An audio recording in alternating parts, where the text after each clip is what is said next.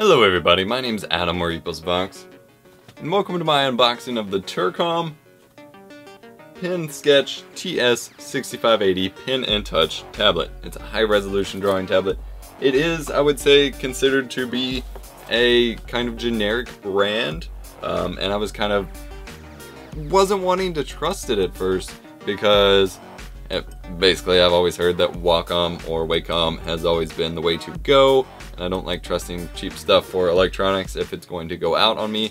However, having read the reviews on mini Turcom tablets and seeing great reviews other than once it goes out you just got to get a new one, felt pretty confident in buying it. Also the fact that it was only about $40 um, on Amazon was pretty cool. It's got 2048 levels, 230 RPS, 5080 LPI, 8 by 5 inches, and 0.6 inches thick, I believe Let's go ahead and get it opened.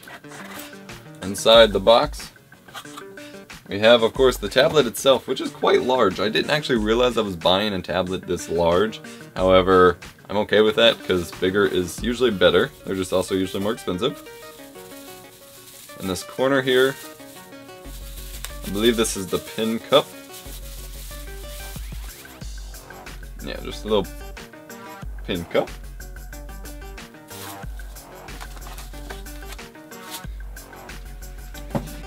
We have the tablet itself, which is in this nice little sleeve. Got a protective film over it. It does connect via mini USB. I believe it is wireless as well. No, it's not wireless. This one's not wireless. But it does connect via mini USB. It's a pretty simple connection. And it's very nice screen to work on here. Let's go on and take this off. Just a really nice work area to work on. I think it'll be pretty cool.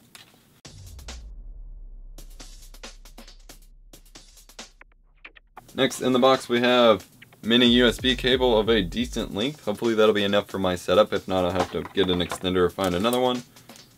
The pin itself, which does have dual buttons on the grip.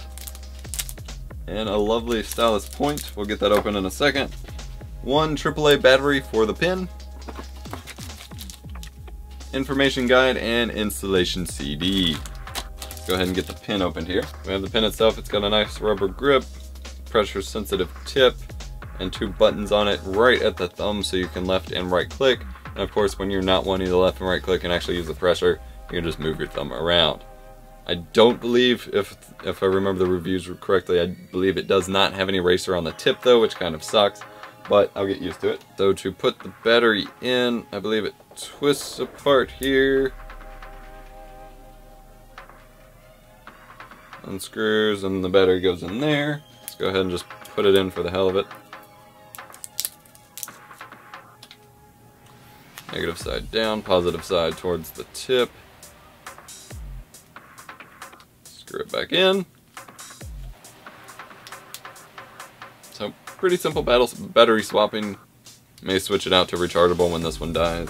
I don't know how long they'll last. We have it in the tablet itself.